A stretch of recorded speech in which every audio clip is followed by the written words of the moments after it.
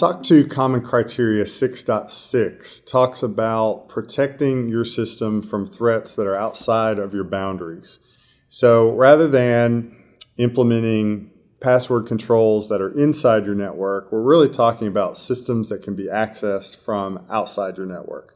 Obviously, the risks are greater, the threats are more extensive because anyone in the world can access any publicly facing IP as opposed to there's a little bit more of a limited attack surface internally.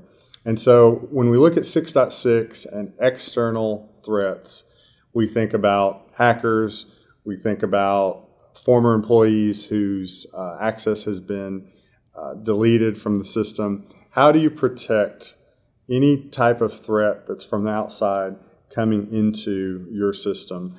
Uh, these might be web servers, these might be firewalls, anything that has a public facing aspect to it, your VPN um, to your network.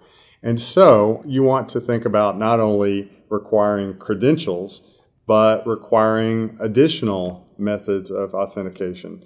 Uh, think about multi factor authentication. There are three factors there's um, something you know, something you have, and something you are. And so, requiring more than one method of authenticating something you know, a password, and something you have, um, a code off of a smartphone that you're holding in your hand. Those are two different methods of authentication that you could require for access coming from the outside of your boundaries.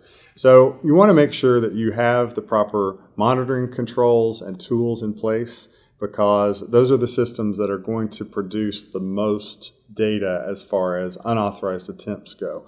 If you have an FTP server or a firewall, you'll uh, clearly see a lot of traffic that needs to be shunned or at least needs to be monitored in order to make sure that no one is successfully breaking into your system from the outside.